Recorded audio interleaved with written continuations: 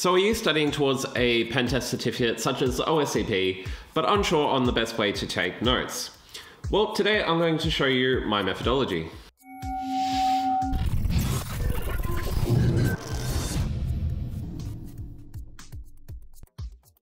Hi and welcome to the channel. If you're new here, please consider subscribing and ringing the bell so you don't miss any future video. So this is actually a question that I get asked actually quite frequently, and I've avoided making a video because I naturally sort of just thought it was quite intuitive. But that being said, not everybody sort of learns the same way or has the same sort of skills when it comes to these things. So I just thought I'd show off my methodology and hopefully you'll find something useful from it. Now to start things off, I actually use OneNote for my note taking and there's multiple reasons for this.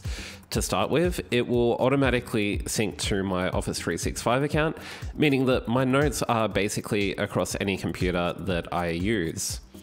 On top of that, I just have a preference on how I can categorize all my notes. So as you can see, I've got a tab for the PWK machines, Hack the Box, Try Hack Me, Proving Grounds, and the exercises from the PWK labs, as well as my cheat sheets. So in each tab, I've basically got a list down the side of the machine by name and grouped by its operating system. And I've done that in the PWK tab as well and divided them based on the networks. So then I'll have a single page for the entire machine. I'll run you through what I did for this machine right here. So to start with, I always take a lot of screenshots, and to do this, I just use the Microsoft Snip tool because it's just nice and easy, copy paste things straight in.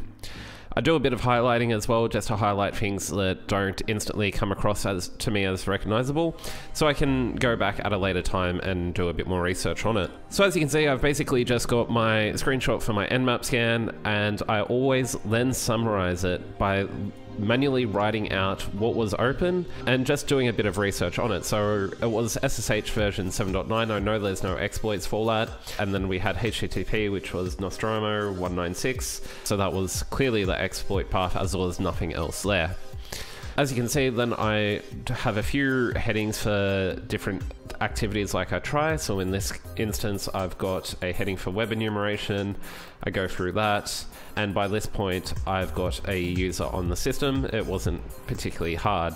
I then always upload Windows or Linux Ps and I perform an analysis on that. And I always take screenshots on the big, most common areas of privilege escalation, such as sudo, SUIDs, random files, log files, things like that. So as you can see, I've taken a screenshot for each. There was a password hash, which I put down into there, and I highlighted a few things that came across as a bit unique to me. I've got a heading for the password crack that I did, and I made sure to include a screenshot of this. And basically, you may see that I just write a lot of notes to myself. And this is really helpful because if I'm writing in just plain English to myself, like I can't think of where these creds will be used, at least I'm sort of internalizing this. It's kind of like rubber ducky debugging, if you've ever heard of that. And it's just quite easy for me to come back and really reflect on the notes. I also use some colors and I use red for when I use uh, hints or solutions. So in this instance with the privilege escalation, I kind of needed a bit of a hint. So here I've just got a hint from IP being IppSec, where I just basically said, yeah, I was kind of right on the path, but I didn't quite work it out, and this is what I missed. I then continue with more enumeration, have all the screenshots for it, and again, lots of notes to myself, and just the overall process in what I did to solve this machine and get the user. Now I'm not going to go into too, too much details as this isn't a walkthrough for this machine, but this is just basically a high level view. So now I'm on the user, I can just continue doing my normal privilege escalation method as you saw by just copying and pasting things that I pick out from WinPEAS or any files that immediately catch interest. So in this instance, there was the serverstat.sh. So then I basically work through that, have screenshots, even if I'm getting close, even if it doesn't work, I like to include screenshots. I included a screenshot from uh, GTFOBins, thinking that could have been the solution as well.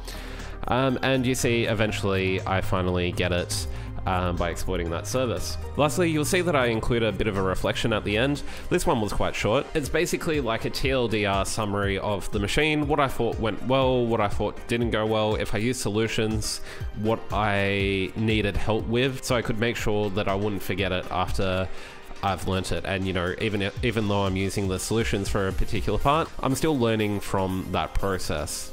So basically, that's what I do for each and every machine, and it, I will admit this process does get a little bit tedious, but it was really helpful to have those really detailed notes, especially if you get in the habit of doing this, then doing the lab report for your OSCP will be a piece of cake. Next, I wanted to go over my cheat sheet. Before anybody asks, I will not be making this public because I believe there's just a lot of value in creating your own cheat sheet. A lot of people do it on Git. For me, it just made sense to do it on OneNote where I have all my notes consolidated in one spot. So as you can see down the side, I've got a lot of headings for different areas. So I've just basically got this little stuck thing here, which is just a few notes to myself on common things to try. I've got the entire buffer overflow process. And most importantly, I've got this common tab here. These, I think, are some of the most important things that I needed throughout my process. So this included uh, file transfers on PowerShell, CMD, TFTP, FTP, Netcat, basically anything that you could think of, anything that would be common amongst most systems, I would include a file transfer command for that for both upload and download and multiple backups because you never know when something won't work. Exactly the same thing for uh, reverse shell one liners or just shell one one liners. I've got a few for PHP, PowerShell, Metasploit framework, Bash, so on and so forth. Some cheat sheets for MSFvenom as well, some things for SQL injections, local and remote file inclusions, basically a lot of things along here, especially for all the privilege escalation vectors as well, as having these commands just easily at your disposal just saves me a lot of time and makes me not have to commit them to memory, and I know that I've got backups if something doesn't work. So there you have it. That's basically my methodology for note taking and my cheat sheet, and I hope you found something useful from it. If you did, be sure to leave this video a like, because it really helps me out and it helps people like you find content like this. If you do something different in your note taking, be sure to leave a comment and let us all know. Anyway, I've been Jason from JSON SEC, thank you for watching, and I'll catch you in the next one.